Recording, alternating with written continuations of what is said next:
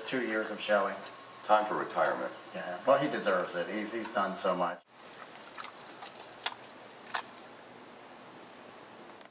He's breathing kind of heavy. I, you should know Malachy and David and David just got back.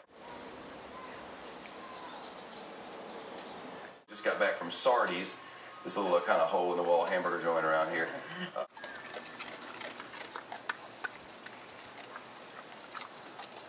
Months after the end of the year until Westminster. I, I've been on the internet today.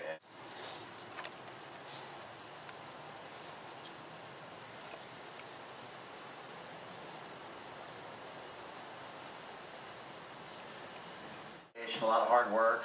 We went through probably 150 shows in 2011.